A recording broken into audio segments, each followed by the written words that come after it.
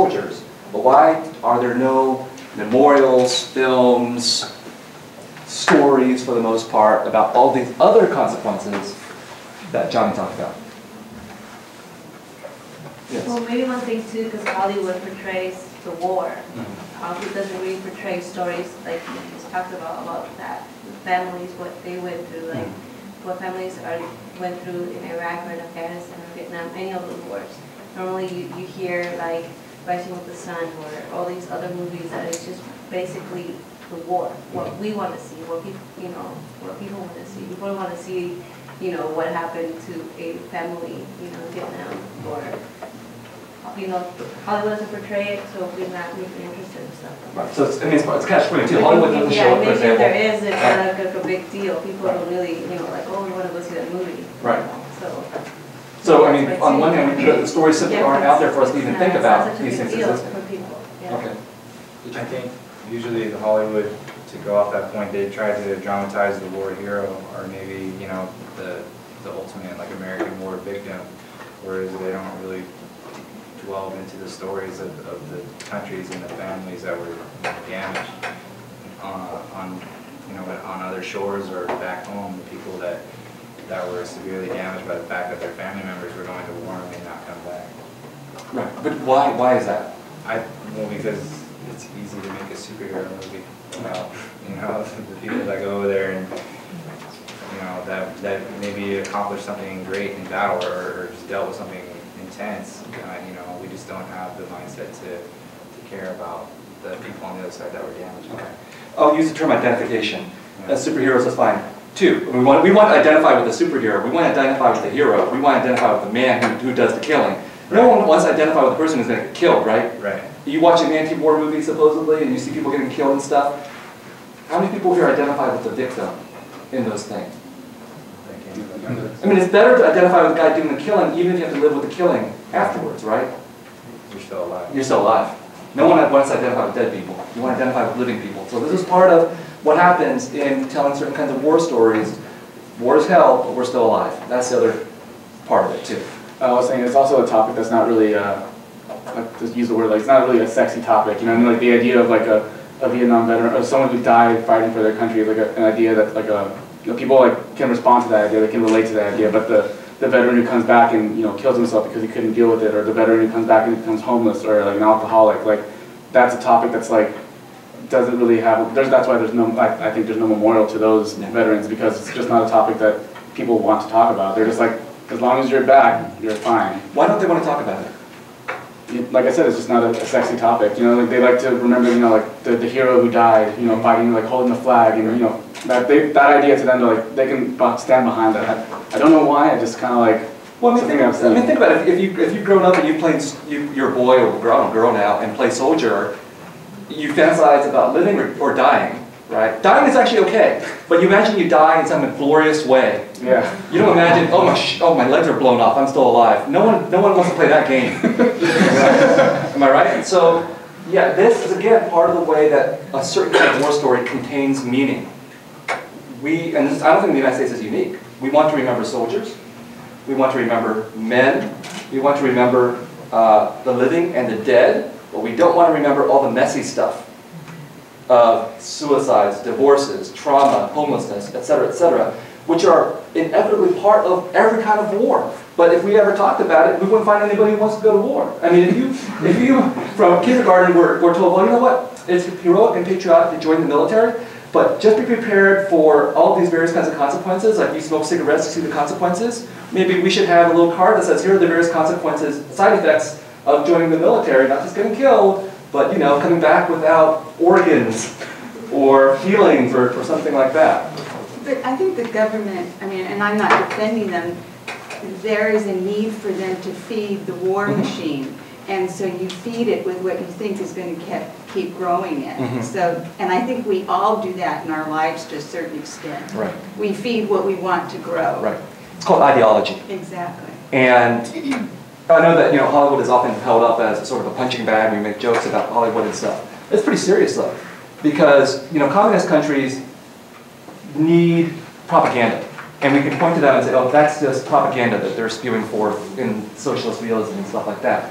We have the most powerful propaganda machine in the world, it's called Hollywood. We do. We don't need the government to tell Hollywood what to do because the power of ideology is so strong that Hollywood's already on board for the most part. So the Vietnam War movie is sort of an exception in terms of how it's shown the dark side of war, but nevertheless, it's still part of the machinery of entertainment that Hollywood is invested in that pro- pro- projects a certain kind of story about the United States. It's very powerful to Americans and to other people overseas. So again, this is part of the way that ideology circulates, and the ideology that we've been talking about is nationalism and patriotism that tells us it's good and heroic to go and fight for your country, defend freedom and justice and so on, and even die. But let's not talk about all the various other kinds of messy things that can happen. So in the current wars that we're fighting, no memorials to all the hundreds of thousands of guys, men, women, who came back from the Gulf War, for example, uh, alive, uninjured on the surface, but suffering from various kinds of uh, illnesses that, that, that they can't figure out what they are, right? That's a huge problem, but we don't want to talk. Um, you kind of already covered it, but I just, I was just thinking that they, they don't want us to realize the harsh reality of like war never ends for the people who do come home. You know, they're fighting battles for the rest of their lives. Right. It's an important point, because I think part of what the war story also tells us is wars begin and wars end on certain dates. So, in the case of the Vietnam War, you know, you read the history book, then after the Vietnam War, there's usually a parenthetical set of dates. It varies a little bit. It could be 1961, 1964, 1965 at the beginning. It could be 1973, 1975 at the end, depending on how you, how you slice it. This is a very artificial way of narrating a war. Because when we tell a war story, we want a beginning, a middle, and an end.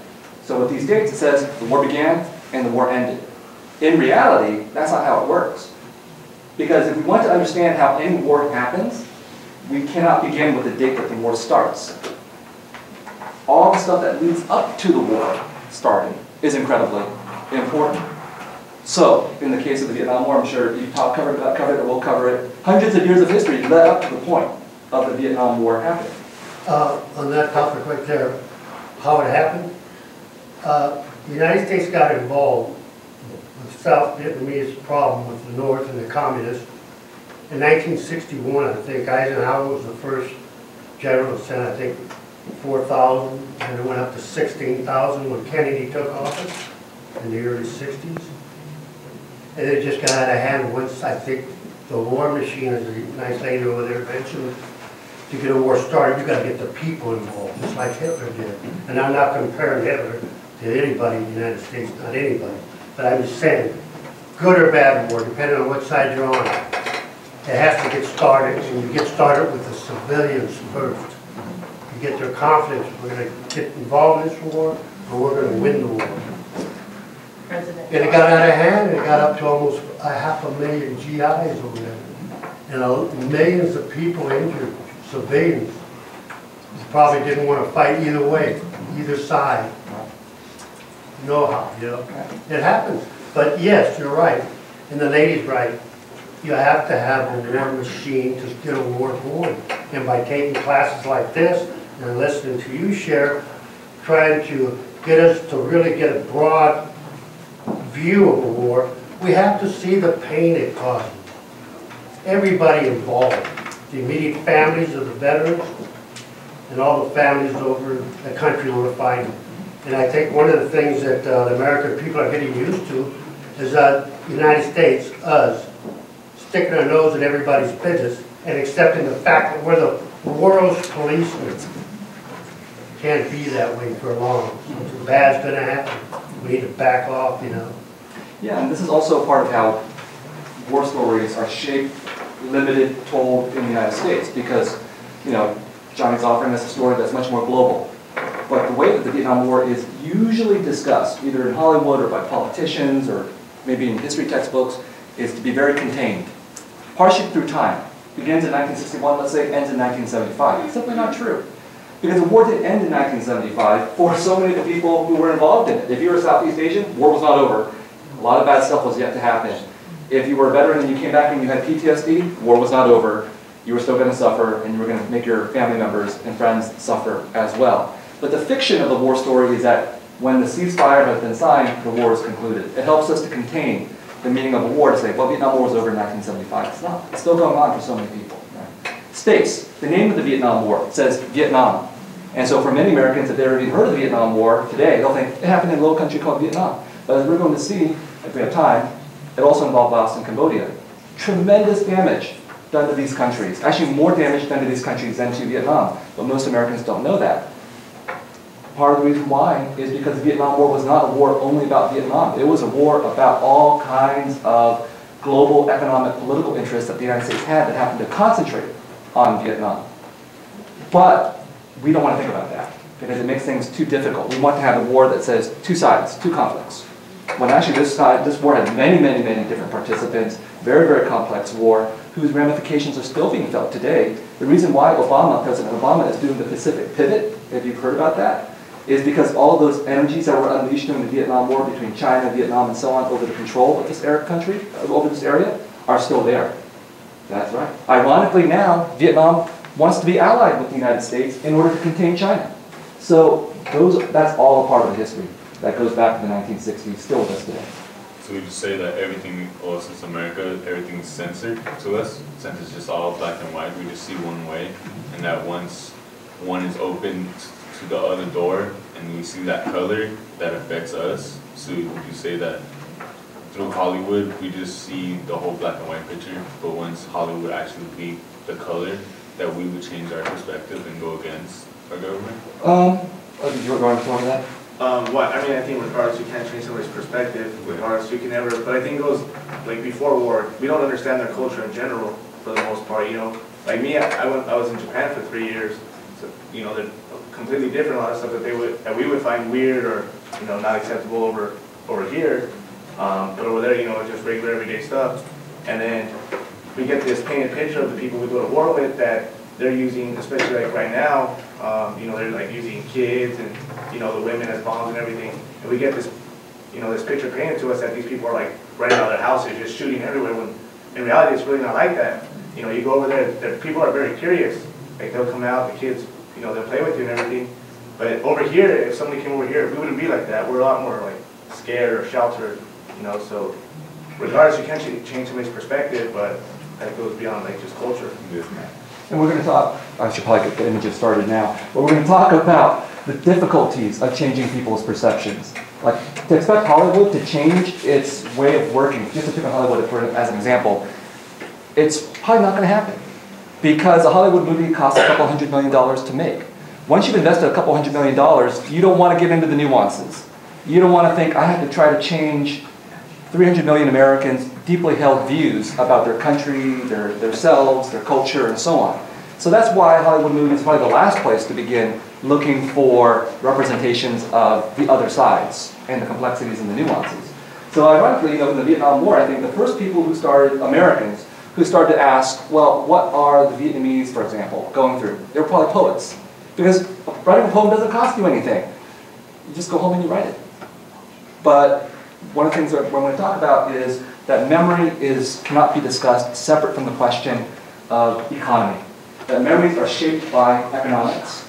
For example, uh, the United States lost the war in Vietnam, but it won the Vietnam War on film. This is the first time in history this has ever happened, right? Usually the victors write history. In the case of the Vietnam War, the losers wrote the history because no matter what the Vietnamese say about the war, it doesn't get out of their country, except in very small ways. But American movies circulate all over the world, including in Vietnam. So memories are not something that only you or I think. Memories are also industrial products that are going to be shaped and fashioned by a country or society's economic power. Um, and then the other thing that was brought that was brought up, I think, that I wanted to address, besides that, oh yes, the other major actor besides Hollywood are, are presidents, in terms of the rhetoric that they put forth about how the war should be remembered. So we are now embarked on a 15-year campaign to commemorate the Vietnam War. This is a part of, uh, um, I forget who, President Obama, I think, initiated this.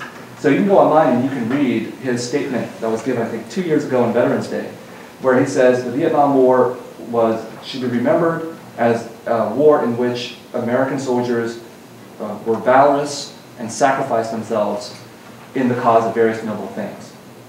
That's the official state narrative of how the Vietnam War is to be remembered. That's very powerful. It is not anything like what we've talked about in this course, or what so many different people have experienced, it. it is the state, through the figure of the president, and not just Democrats, but Republicans too, all presidents since the end of the Vietnam War have tried to turn the meaning of the war around from the, the period of dissension and conflict that it was in the 60s and 70s to a war that is about the sacrifice of the American soldier. So, no one wants to talk about whether the war was worth it or not. The way that the Vietnam War is remembered today is through the sacrifice of the American soldier who cannot be criticized. That is one of the major ideological triumphs of the Vietnam War. So supposedly, at the end of the war, veterans came home and they were not honored for what they, for what they did, right? The, the consequence of that now is we have this slogan, oppose the war, but support the troops, in reference to the current wars that we're fighting. If you want to oppose the war, you still have to support the troops. It's a very powerful slogan, because what it does, it's a direct consequence of the Vietnam War, right? But what it does is that it diffuses war opposition. Actually, I do not understand how you can oppose the war and support the troops. If you oppose the war, you have to oppose the troops too. They're the ones fighting the war.